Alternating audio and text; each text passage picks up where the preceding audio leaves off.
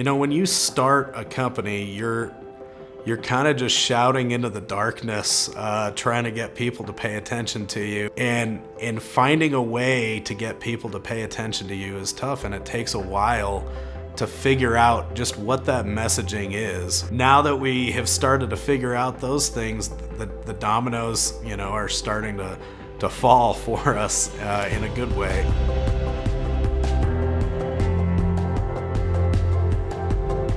I'm a former signals intelligence marine and Korean cryptologic linguist. I got in in uh, 2004, um, did just a little over five years, got out in 2009. Serving in the military changed my life. It changed who I am fundamentally. Before I joined the Marines, I was, you know, kind of floating around, not really sure what I wanted to do um, with, with my life. And once I had gotten in, I, I learned the skill sets uh, about discipline and hard work and really pushing yourself beyond you know levels that I, I didn't really know I had in me. Those are the things that have really kept me you know going through the, the times that are that are hard and you know also being able to you know create build something out of nothing and, and do more with These are all things that I absolutely learned in the military. The biggest thing at the end of the day is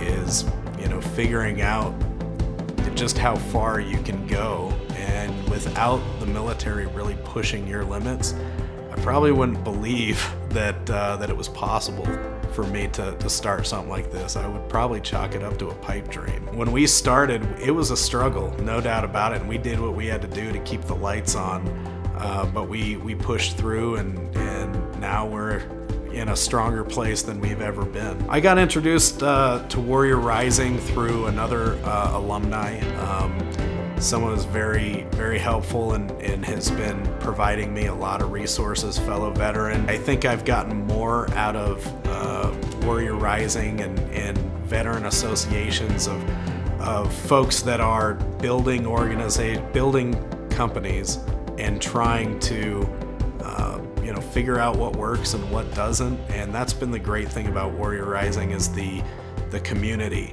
in in uh, giving the members resources and, and available just tips, everyday struggles, the things that, you know, you don't ever really think about until you encounter them. Even if somebody told you in advance, these are the things you need to worry about, sometimes it doesn't sink in until you're facing those issues. And uh, it's nice to have a community that you can query and, and say, hey, is anybody else experiencing these issues? And, uh, and Warrior Rising has really helped with, with that. There's a lot of organizations that say they want to help vets and then they provide, you know, some knowledge here and there, and that's great, but those are kind of a dime in the dime a dozen.